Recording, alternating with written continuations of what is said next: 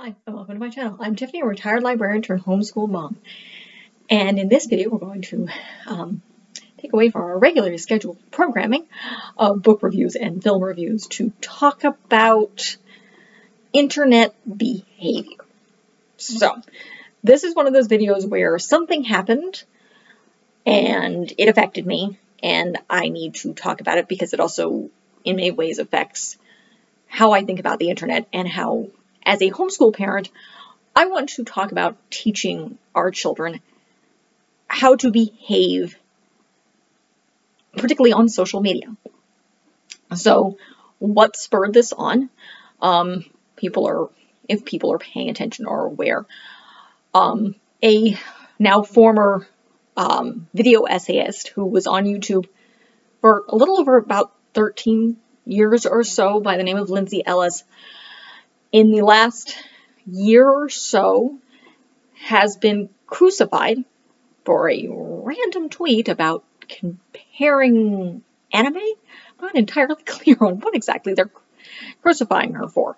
Um, but the both Twitter and YouTube and essentially social media, um, particularly of her own community, attacked her in mass to a point where the end of this December, she has removed herself completely from YouTube, from Nebula, which was a platform that she was moving on to with a variety of friends to get away from YouTube. Um, she's left Twitter and basically is retreating as much as possible as an author can from the public eye because it's destroying her mental health. It's destroying her mental and her physical health because people dehumanized her. Now, I was able to read um, what she posted on her Patreon page because somebody happened to post it on the Reddit community, and it's heartbreaking. What this did to a human being, a human being, is horrific. They tore her to shreds. They're her. This is her. This isn't. This isn't just people who are on. You would call them the radical right or whatever they are. These were people within her, within her own community. These were people who had formerly supported her, people who had followed her, who turned on her for whatever deranged reason, and she got attacked by a mob, and people went after her, were nitpicking years of not necessarily tweets because Twitter hasn't been around, around that quite long. I don't pay attention to Twitter. I was on it briefly, got away, got away from it for political reasons just because it was toxic. Um, and literally only got started watching YouTube back in maybe 2017. Um, at, oddly enough, the recommendation of a coworker to follow another YouTuber um, by the name of Don Noble. And that's how I found Lindsay, was through him um, and specifically a former channel that I will not name, but they were both connected with at the time. So, and had left due to a toxic work environment. So she started her YouTube career with this channel back when I believe she was a, uh, a student at NYU. So she was a young college student. And she's evolved and grown and grown up as you do in about 13, 14 years. And people had, they were nitpicking everything she did for a little over a decade, which is insane. And it became a mob mentality. And this is kind of what I want to talk about is as a person, as a parent, as someone who has chosen to come on YouTube as a hobby. I'm doing this not for money, not for the bloody algorithm. A lot of this, I'm doing this for myself to share information because I love sharing books. I love talking about education. I love talking about movies and children's books and how it works into what I'm planning to do with my daughter and education. That's why I did this. I have a master's degree in library science. As a stay at home mom who's planning to teach her kid, I needed an outlet for my degree. That's why I started this. Mm-hmm. But in this video, I really want to talk about how we talk to our children and how we behave on social media because in this day and age, we seem to forget that on the other side of that screen, that person we're criticizing, be they a YouTuber, be they a random person on Facebook or Twitter or anywhere, are humans. They're humans with hearts and feelings and lives and pasts and traumas all of their own. And we forget that. We have a tendency to forget that we're attacking a human being because we're a step away from it. As humans, we're social. This is a biology thing. We're human beings are a social creature. One of the things science has taught us is that a lot of our cues and our language is nonverbal. It's through watching body movements and face movements and me talking with my hands and our eyes and all the thousands of muscles that are in this face. Yeah, there are thousands of muscles and thousands of nerves in the face that we use to communicate with. And that is taken away when you're talking on the phone, when you're typing on the internet, it becomes faceless. And we forget that on the other side is a human, a living human being. I'm a person. I have a family. I have a past. I have traumas all of my own. And as well as various other things. So I try to keep that in mind when I am on the internet, when I am communicating with people. Primarily, I use both Reddit and, as of now, Facebook. Or I, I use Facebook a little bit and I use um, YouTube. Now, when it comes to YouTube videos, I never, ever put a negative comment because people work hard to do their videos. I work hard to do mine. There's a lot of thought that goes into it. It's not easy to do this when my child is sleeping and I have four cats. In fact, there's one in my lap here. Um, so, and then I still have to edit them, which has gotten more difficult since my daughter, daughter no longer naps. So, I respect other YouTube creators. I always respected the YouTube creators I watched. And when I do a comment, normally it's a compliment. It's, I see these people working hard. I enjoy their content. If I didn't, I wouldn't be watching it. I mean, that's the best thing to do. It's like, you don't like it? Fine. Stop watching it. Nobody's forcing you to. Stop following this person. Nobody's forcing you to. But don't go attacking them. Don't go attacking another person because they're a person and your comment could be the straw that breaks the camel's back, so to speak. It could be the one more comment that drives someone to suicide. You don't know that. Could hurt them severely just because they had it dumped upon them. You don't know what's going on in their lives. And that comment could hurt them just because of what's going on in their lives. Or someone like me who is naturally very, very reserved, except for when I'm in, say, a position like this where I'm acting as a specialist, essentially, because I have that library degree. Otherwise, I don't do crowds. Um, quite literally. Uh, I have a hard time talking to people in person, so I have a hard time putting myself out there in real life situations because I have social anxiety and have pretty much my entire life. So when I make a comment, it's always supportive, it's always positive. I do my best not to hurt people because I know that I could be on the other end. And I don't want to hurt people. I may work very hard not to. And that's something I plan to teach my daughter is the biggest power that we have for people we do not like on social media is silence. Stop following them. Stop engaging with them. Just walk away.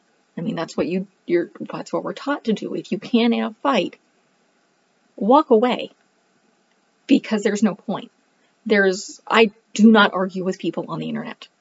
Why? Because there is no point. I'm not going to change their mind. I don't know them. They don't know me. There's absolutely no point in arguing with a person on the internet. I have a cat here. So I don't bother. I use the other tools provided for me by occasionally these social media pros. I block people routinely, even on Facebook groups I follow. If I see someone being too argumentative and too forceful, even if it's they're they think they're doing good because they're representing this and they're representing that and they're trying to correct people. It's pointless. You're not going to do it. Not on the internet. It doesn't work uh, most of the time. You're more likely going to just get in an argument or you're going to hurt someone. So it's best to be silent and to back off. Use your voice in a different way. Now, I, like a lot of people, admire Martin Luther King. He had some good points. He was a human. He was most definitely a human and a flawed human at that, as we all are. But he said something, at least that I remember quoting, is evil flourishes when good men remain silent. Now, I fully agree with that. However, the internet is not a place to do this because it's an it could be a giant echo chamber. You're not actually actively engaging very much with actual people. You don't know these people. You want to bring a voice, protest, vote. That's how you not remain silent. Don't remain silent in public if you can. Um, if you see people being harmed, stand up for them. Don't remain silent, but do this in person. Face people, not faceless things on the internet because, again, you're not going to change anything. At least in person, you can stop something. You're not probably going to change someone who's harassing someone, but in that moment, you can at least stop it and you can show the person you're standing up for that they are not alone in that moment. Now, of course, there are all sorts of nuances to this. Not putting yourself at risk is a big one. Don't do this to get yourself killed. But again, do it in person not as a faceless voice on the internet. That's the biggest thing.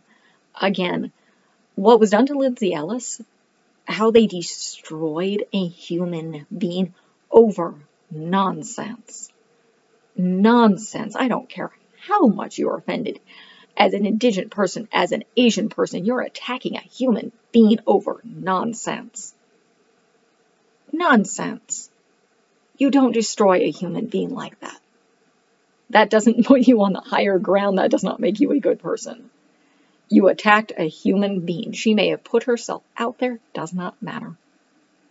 You attacked a human being and you tore her to shreds because of a mob mentality.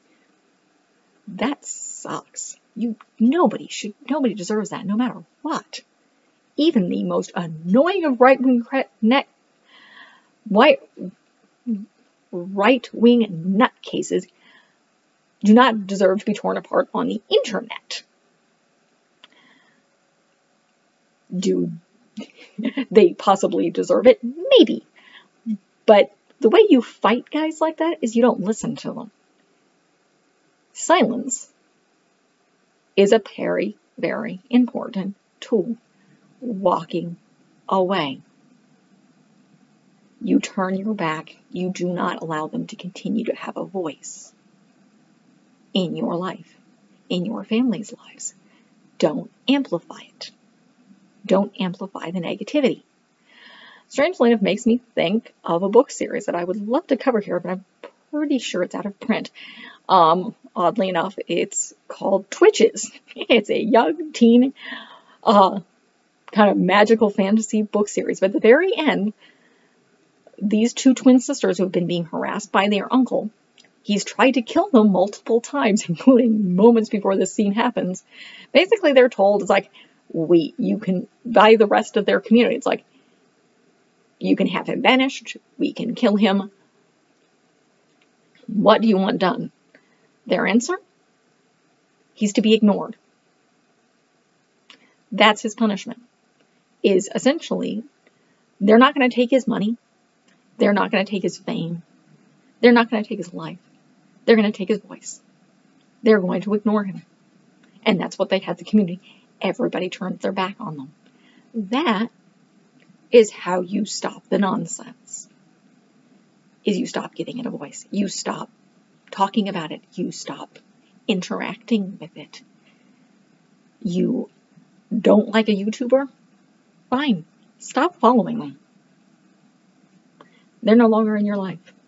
These people, particularly on the negative side who are sensationalism, they exist because people let them, because people are listening, because people give them views, because you watch them.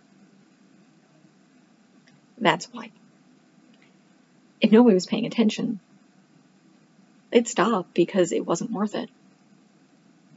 So that is how you fight this thing. That's what I'm going to teach my daughter is do not engage. Do not insult people online. Do not fight with people in social media.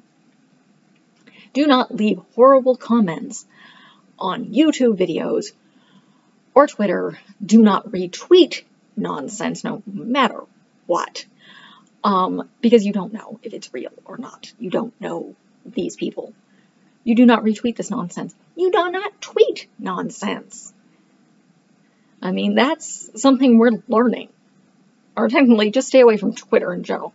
Um, very possible. Twitter is a, uh, a very good mom mentality nonsense place. But don't engage with that. Block people. Don't comment on it. Just cut them out and move on. I mean, yeah, there's been times where people have left negative comments when I've recommended something on Reddit and I want to scream and I want to yell and I want to fight with them, but I'm an adult. I have free will and self control. As much as I rant and rave in my head, I block them. Every time. I'm proactively in blocking people on Facebook and on Reddit if I see people who have views I don't particularly like, um, particularly in on Reddit, one of the big places is the homeschooling Reddit. I see people recommending um, the Homeschool Legal Defense Association. I just block them automatically.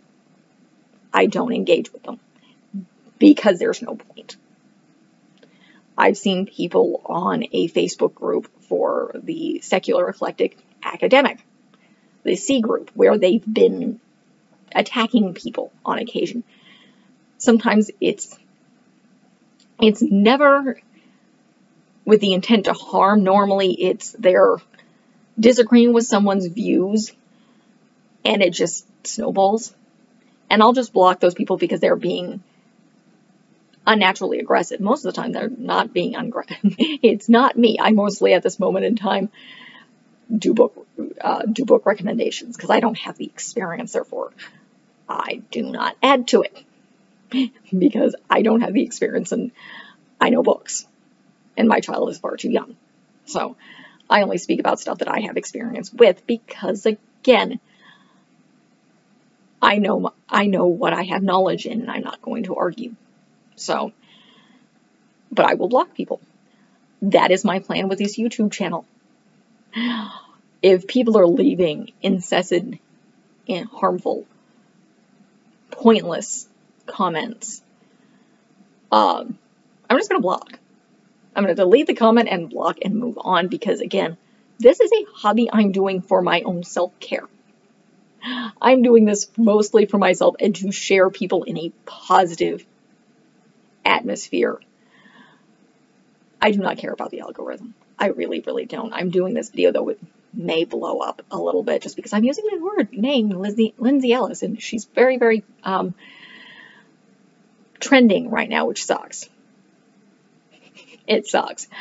Um, and that's not what I'm banking off or off of. I would never do that to another human being, let alone a YouTuber that and an author that I admire and respect for what she's done. I watched her TED Talk and watched how what's happened to her is isolating and destructive, and how she was isolated from friends and family because people were afraid to stand up for her because they would be attacked by this flash mob.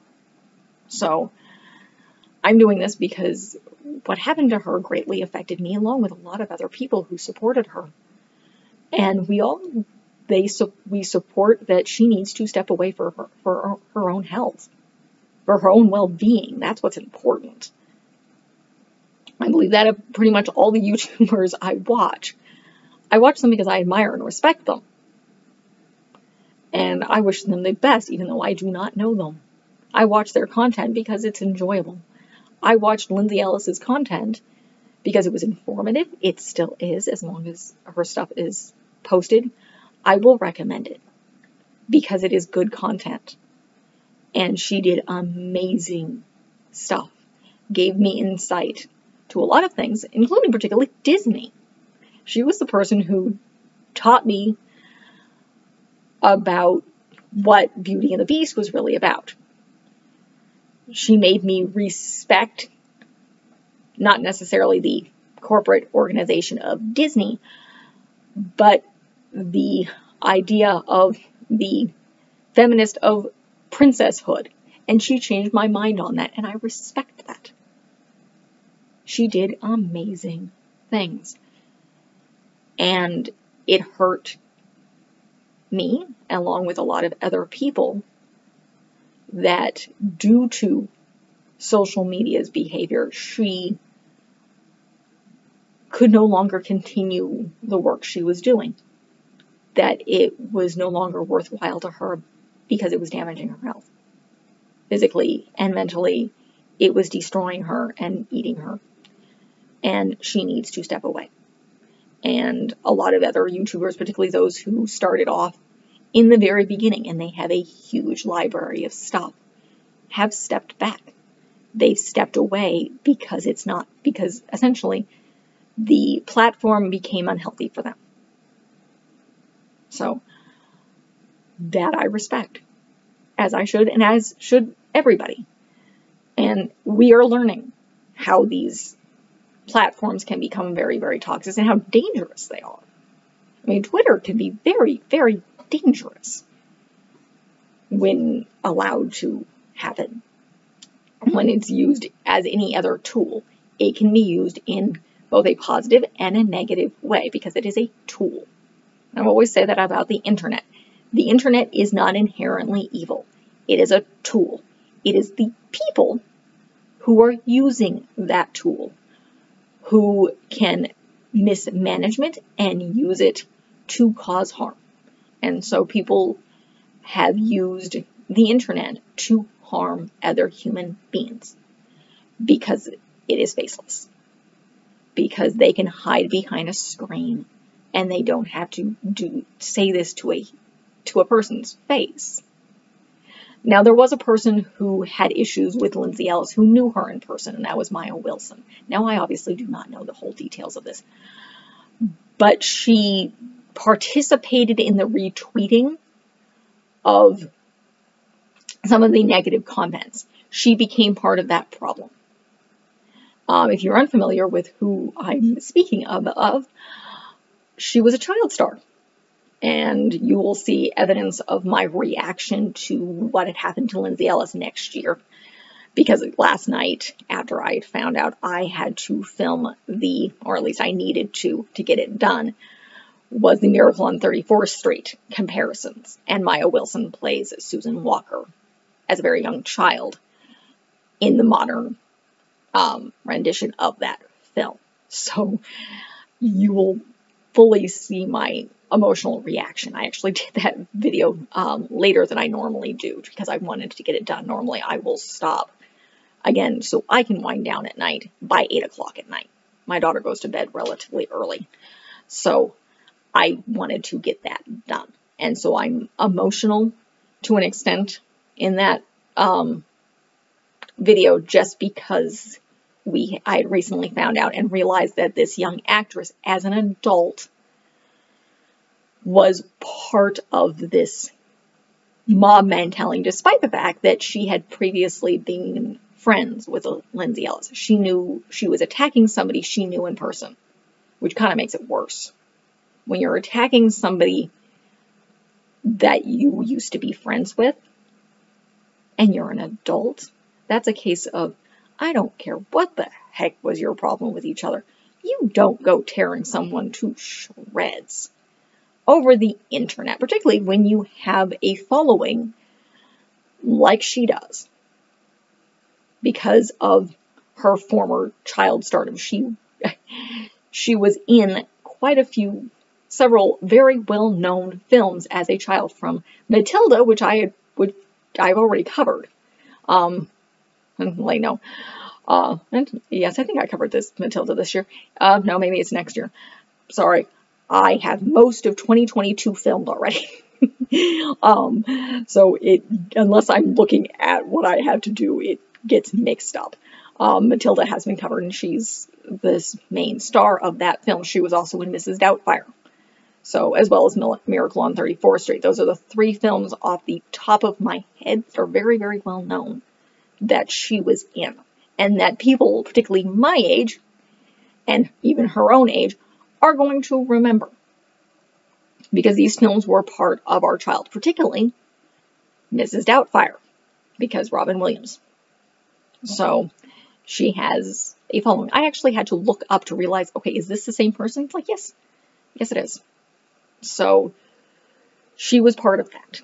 And so it was hard to make for me to do that um, comparison. But again, their library DVDs, I wanted to get it done, and I want those. My husband will probably go to the library on Friday, and I want them gone. so I want them I want to return them back to the library so I don't have to, basically, I wanted to get it completely done. So I'm mildly, I'm emotional in that. So that will not premiere until literally December of next year. Just so if you're aware um, what was going on. So that's pretty much it. I'm going to say this and repeat this again. Yourself and your children, teach them to be respectful on the internet. If you do not have something nice to say, do not say anything at all. We've heard that said a lot. That's a big thing to remember on the internet. If you want to stand up for people in person, do so. You want to protest? Go right ahead. Vote. Always encourage that. But don't do it on the internet. Sign petitions. There's your voice. Standing up for things the internet, arguing with internet people, it, it's pointless. You're not going to change people's minds. There's nothing wrong with being inside your own echo chamber. There's really not. Unless you can respectfully have debate and have respectful criticisms, which seems very, very hard right now often it's safer to be in your own echo chamber and do your own research into different things. But you're not going to get that information from arguing with somebody on the internet. So, as an adult, I have the power to disengage, to stop following, to block people, to remove myself from different Facebook communities if I think that is causing harm to myself I don't engage. I will delete comment horrible comments on my own channel and blog. Always. That is my tool. I will not engage because as an adult, I know better. I know that not that you don't you don't give fuel to the fire. But that's something you have to learn. So, and unfortunately, the internet is still new. Social media isn't that old. I mean, Twitter's. I'm in my late 30s. The internet popped up in the common sense when I was about 12.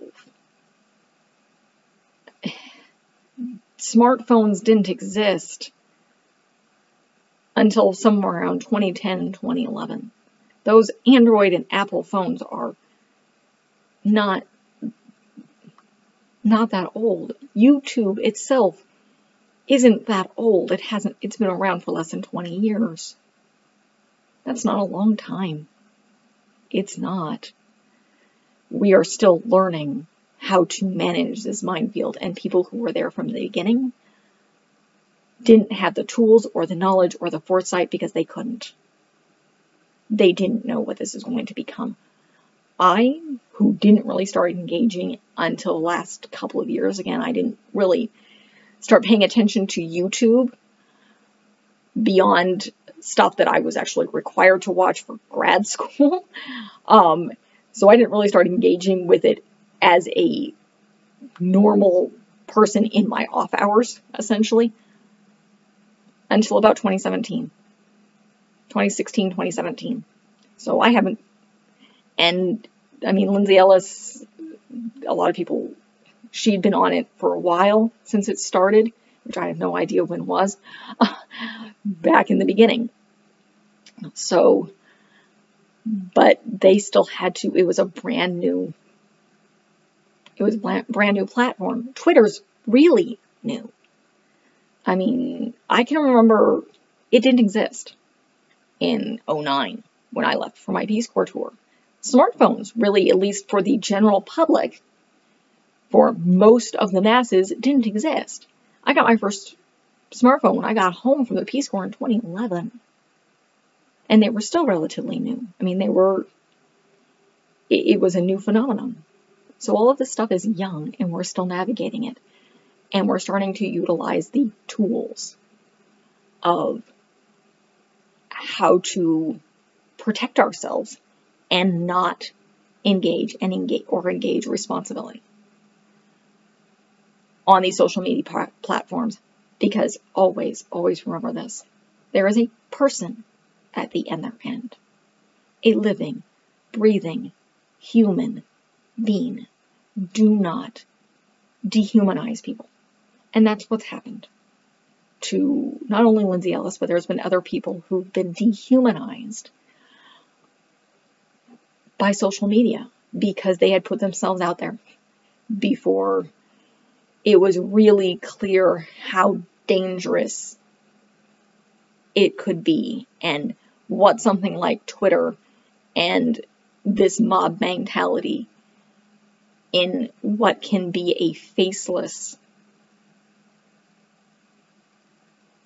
interaction could become. So, again, I'm a person. All the creators you watch on YouTube, at least in general, are humans with hearts and feelings and pasts and traumas. And even if they're putting them, themselves out there on the internet, does not mean you have any right to attack them. And yes, that goes for celebrities too. Yeah, don't attack celebrities either. They didn't ask for this. They're doing a job. They happen to enjoy entertaining people. They did not ask for this. Now, are there certain um, people, like, say, the Kardashians, who intentionally are going after being certain um, media personas. They're doing specific things to draw attention to themselves. Yeah. But you still probably shouldn't attack them. You still don't know why they're doing it. It could be mental illness. All we know, these people are crazy. Um, it, it could be desperation. Who knows? But they're humans. They're maybe crazy humans, um, but they're humans. And it's just if you don't like them, do myself like myself, don't engage in the media. They're out there because people give them attention. Otherwise, they wouldn't be doing this. They just want attention. like a two-year-old having a temper tantrum. Though I don't recommend ignoring your two-year-old. Um, a two-year-old is a two-year-old. An adult trying to do this, there's something else going on. But don't attack them. Ignore them. So that's literally your best option is turn around and walk away. That is how you use your voice, is by ignoring them and allowing them to realize that this is inappropriate behavior and you're not going, it's not going to get them what they want. So that's really the end of this. Again, this is going to be posted as soon as I can edit it. It's something that's done from my heart and it's being posted rather quickly just because this happened. This is being filmed on the 29th of December. Lindsay Ellis put her Patreon thing out on the 27th.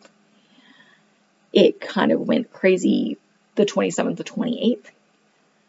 And I was deeply moved by what she posted and on what people did. So it is a cautionary tale in many cases on how you treat people and how we need to realize that our words have power to destroy people or to lift them up. I choose to help lift it up.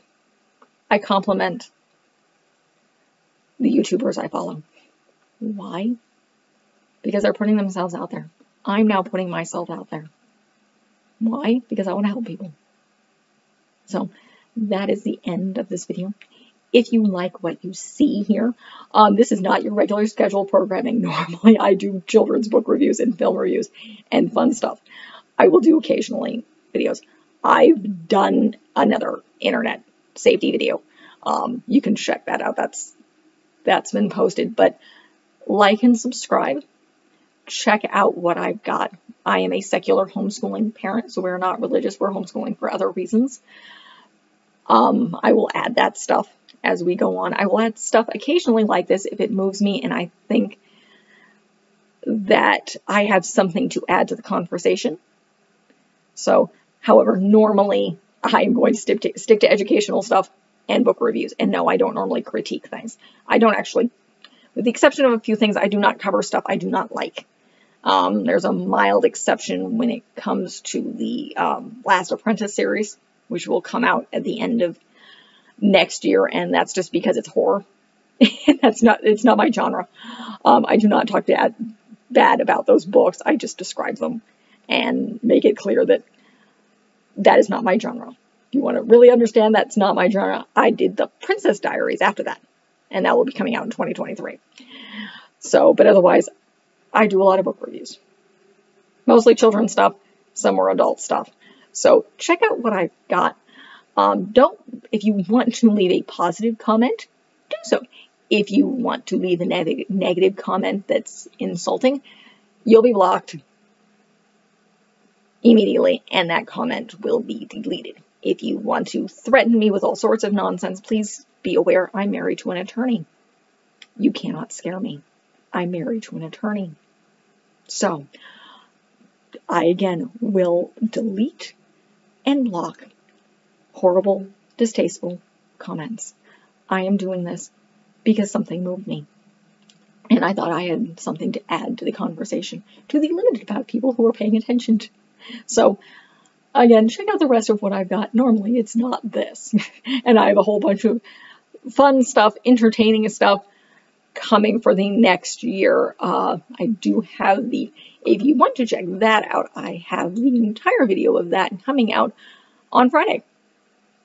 That will literally tell you everything that is planned, at least in the book sense and the film sense, for the coming year.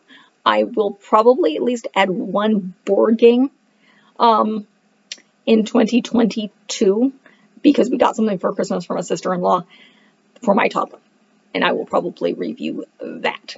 So, along with possibly some of my Christmas presents my daughter got in the form of toddler books. so, but check out the channel.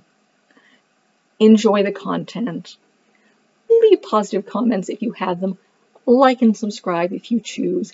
Otherwise, walk away. Thank you.